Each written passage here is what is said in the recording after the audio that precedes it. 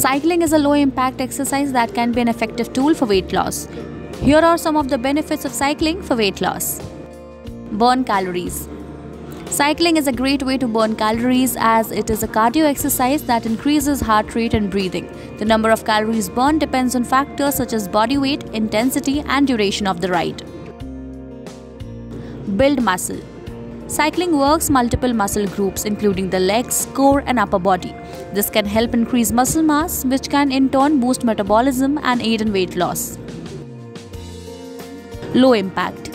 Cycling is a low impact exercise, which means it is gentle on the joints than high impact activities like running. This can be beneficial for people who are overweight or have joint pain.